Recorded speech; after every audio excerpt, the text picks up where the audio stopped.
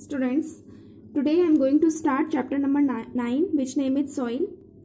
Soil is one of the most important natural resources necessary for life on the earth.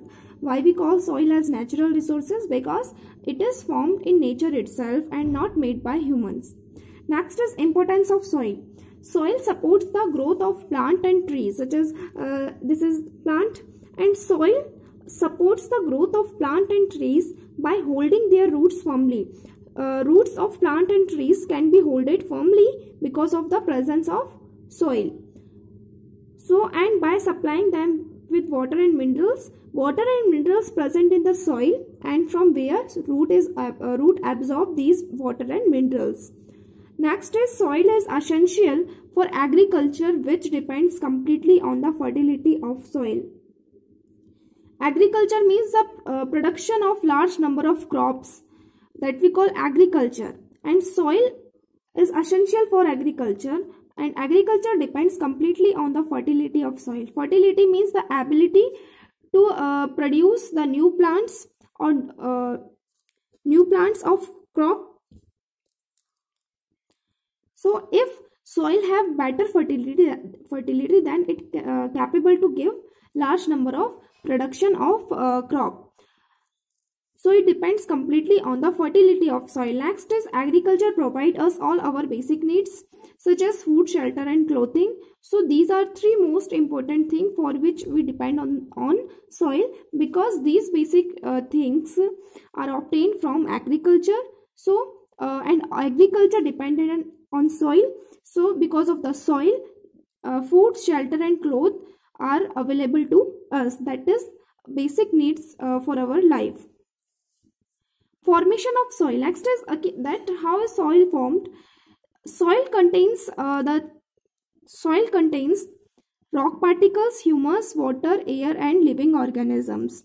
So for the formation of soil there are two important things rock particles and humus that how uh, how are these two things formed?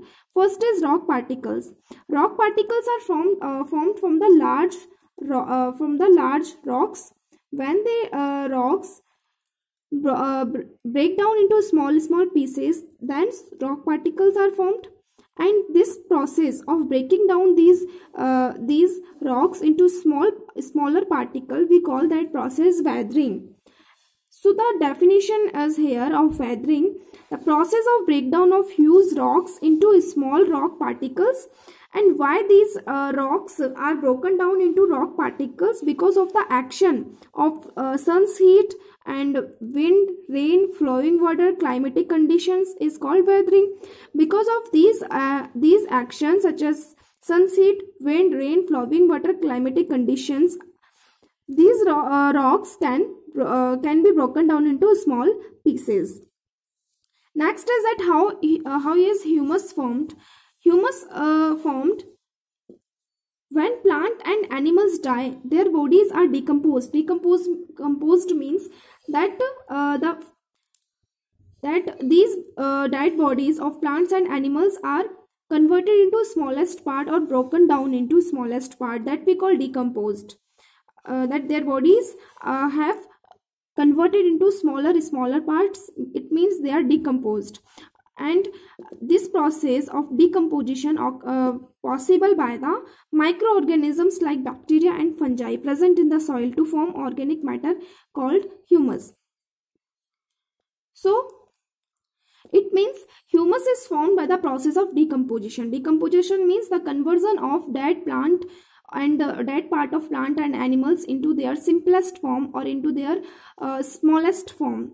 We call that process decomposition Next is that uh, the topmost layer of the earth crust consisting of the mixture of topmost layer means that uh, uh, the soil that are present on the upper upper surface on the earth that we call that soil we call topmost layer and that topmost layer of the earth crust consisting of the mixture of rock particles and that formed by the weathering of rocks and humus is called the soil so what is soil the topmost soil layer of the earth's crust consisting of the mixture of rock particles formed by the weathering of rocks and humus is called the soil.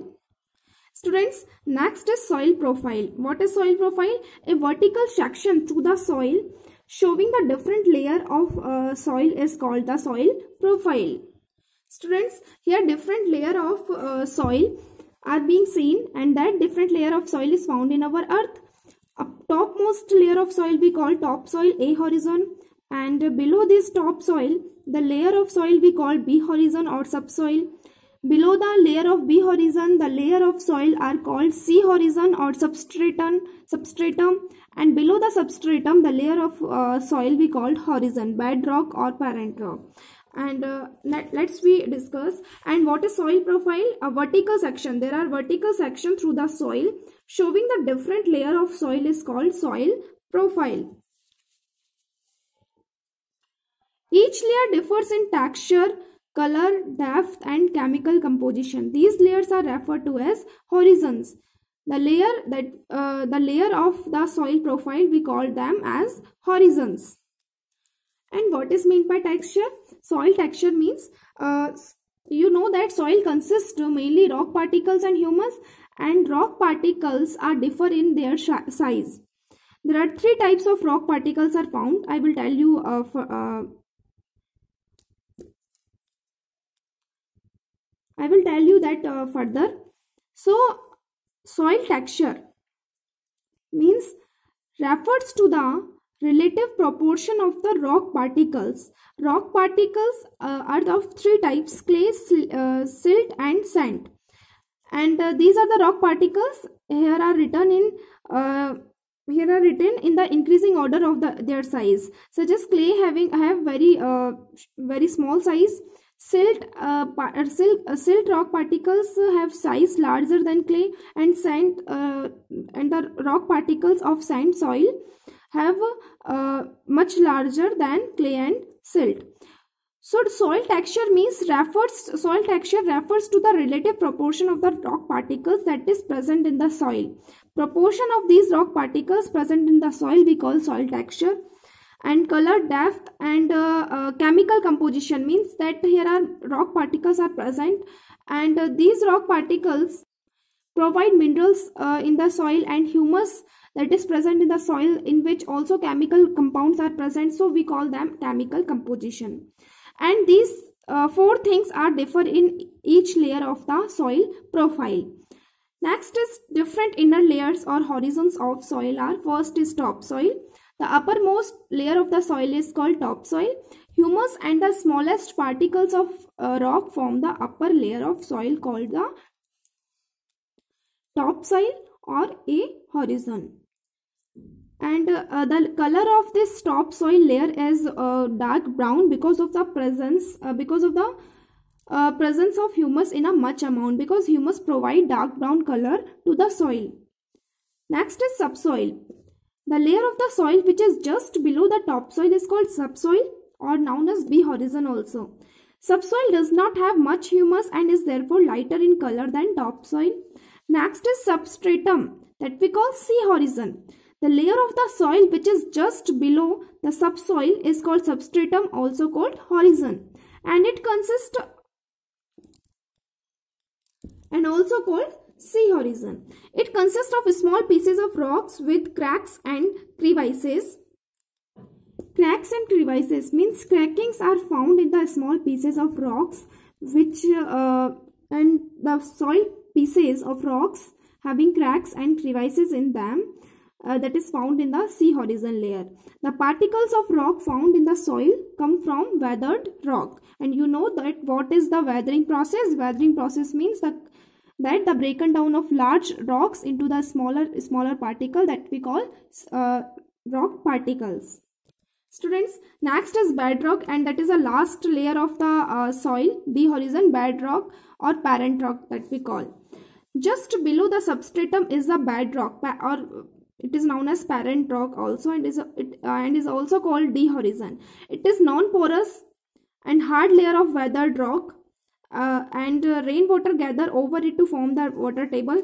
And rainwater gathered over this parent rock. And this is uh, non-porous hard layer of weathered rock. Means here uh, rock uh, here small particles of rock are found. And that is uh, that is formed from the weathered rock.